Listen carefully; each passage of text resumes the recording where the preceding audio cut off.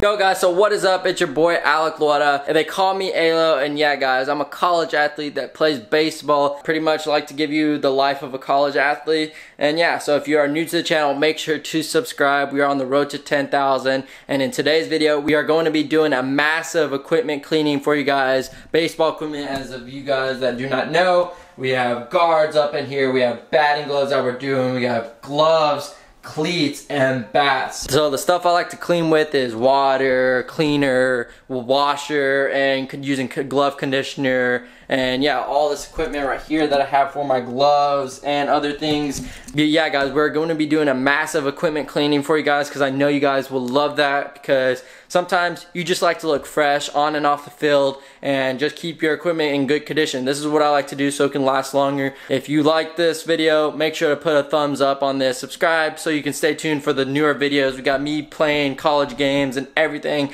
I'm going to be showing you guys everything this year, so stay tuned. And yeah, guys, let's get into this this video. Oh, guys, for the gloves that I'm to be doing, like the fielding gloves and all that, I actually made a video on these on how to clean your gloves. So if you want to watch that, I'm not going to be showing the full process in this video, but if you want to go watch the full process, go up right here on this link right here and it'll take you to on how to clean your gloves, the full process, and it'll show everything. In this video, we're just going to be showing a before and after of these items, and yeah, just telling you guys what I'm using. Same with the cleats over here. I just made a video on those on how to clean your cleats. So these cleats are very clean, but these aren't actually used them in our World Series that we just had going on. So they were clean for the World Series, but then they also got dirty again, as you can tell. So I'll be showing the before and after and how to clean those, but like the process on all that, you can find it in this link right here. Those are two different videos, one for fielding gloves and then one for cleats.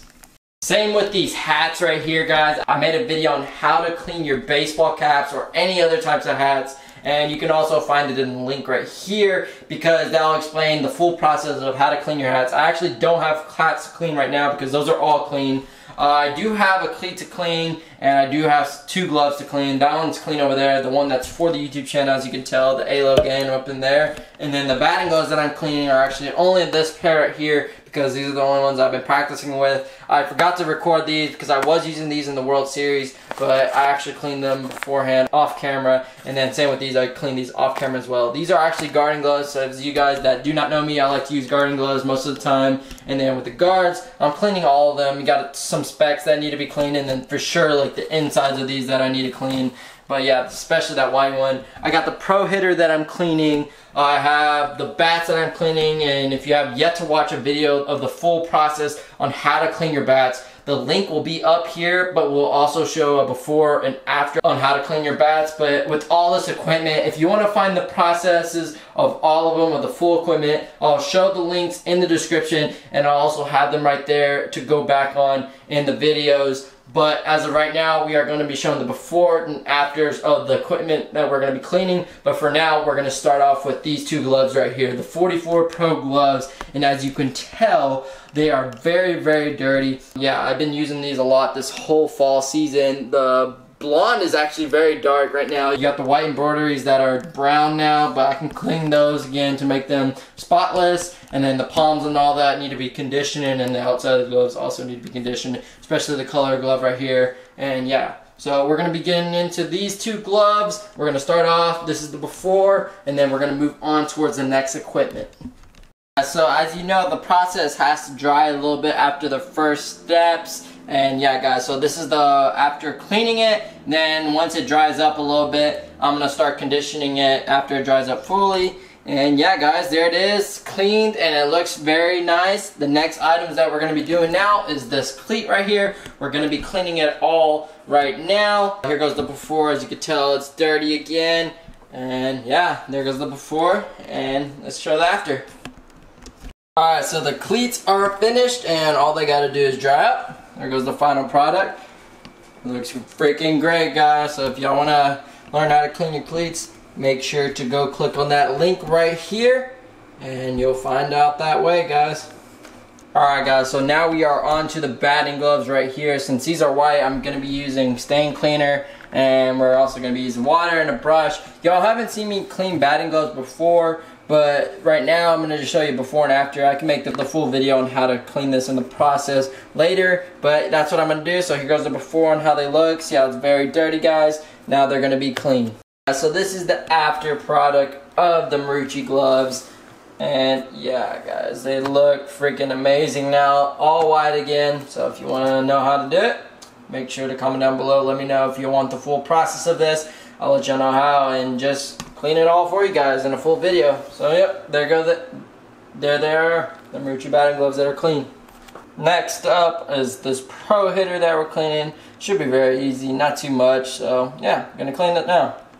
Voila, the Pro Hitter is clean again. Next up, we have all these three guards right here. We're gonna get these clean real quick. So here goes the before. Uh, this white one's a little bit dirty. And you got the insides, of course, that are dirty on these. And maybe a little bit of specks on the other guys, but that should be it. Little bit before. Got the white one clean, all brightened up. Looks very, very good. Let me know down in the description if I should make a full process on how to clean your white gear, like such as leg guards and all that. But, yep, looking very slick, nice and neat, ready to play in.